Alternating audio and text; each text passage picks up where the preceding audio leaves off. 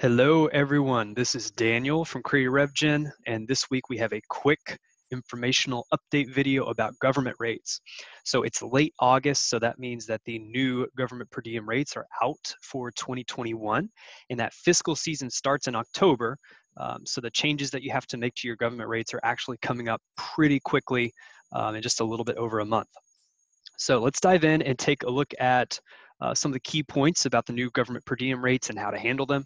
So first off, if you don't know how to look up your government per diem, it's super, super easy. All you have to do is go to the gsa.gov website and do a quick lookup for your 2021 rates. So I'm gonna show you an example of what that looks like. This is the website. You would put in 2021 for the year and then pop in either a zip code or your state and city and then click on find rates. So for example, here's Dallas, Texas. And you can see that the rates are actually decreasing down to 154 starting in 2021. All right, so how do you price and yield government? So a couple of questions that come up all the time in revenue management scenarios are, what if my bar rates are consistently above or below per diem? So if this is the case in your market, um, if your bar rates are you know wildly different than your per diem, consider offering dynamic discounts for your government business. Also, what you can do is consider dynamic pricing rules, such as the one shown over here on the right. So what I have shown here is a Marriott property that actually has a really clever ceiling rule. So the way that they have their per diem set up is they offer that flat per diem at $110 unless the bar rate drops below that. And then if the bar rate drops below 110, then they just offer a 10% off of the prevailing retail rate. Another interesting thing that you should be considering is check your yield strategy for your government rate codes and rate plans and make sure that they're logical. So are they LRA? Are they NLRA? What level or bucket do they live in? So for example, if you have a Hilton property, does it make sense that your government rates live in LV0? Okay, another major thing to consider is comparing what you're doing to what the comp set is doing.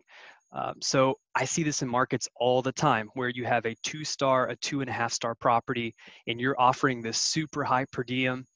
And then you've got a five star, a four star property right across the way that's also offering per diem.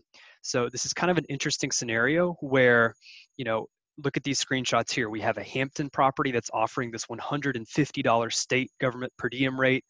And then right across the way, we have a five star hotel that's also offering a $150 per diem rate.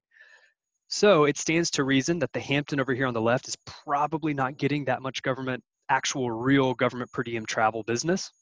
Uh, because these nicer properties, especially with COVID going on right now, are also offering, you know, the true per diem. So if you were on per diem travel on official government business, which hotel would you stay in? All right, and then lastly, operational enforcement. So this is a huge part of it just be sure that the front desk knows the difference between what a valid and an invalid form of government IDs are. So examples would include, you know, a common access card versus a cost reimbursable government contractor. Um, you know, the front desk should be able to determine, you know, which of those qualifies for the per diem and which doesn't.